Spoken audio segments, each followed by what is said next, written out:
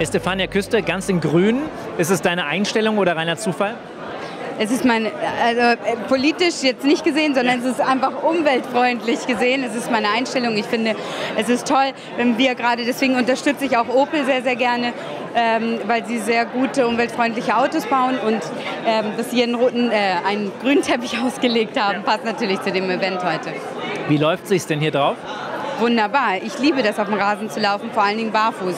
Leider habe ich heute so hohe Hacken an, aber normalerweise ähm, liebe ich das zu Hause, wie äh, sieht es denn da aus? Also Müll wirst du wahrscheinlich trennen. Was machst du denn noch? Ich trenne den Müll. Ich achte darauf, dass wir nicht Wasser verschwenden. Ich achte darauf.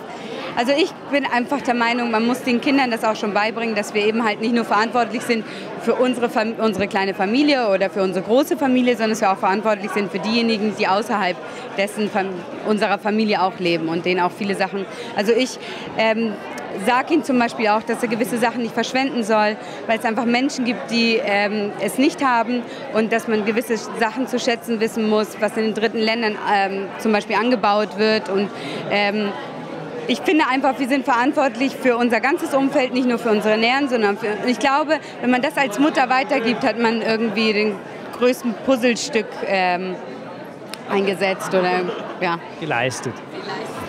Was erwartest du von der Veranstaltung heute Abend hier? Also ich bin heute mit meiner Cousine hier. Hallo. Hallo. und äh, wir erwarten einen schönen Abend. Ich lasse mich überraschen und freue mich hier sein zu dürfen. Vielen Dank und bis gleich. Bis gleich. Dankeschön.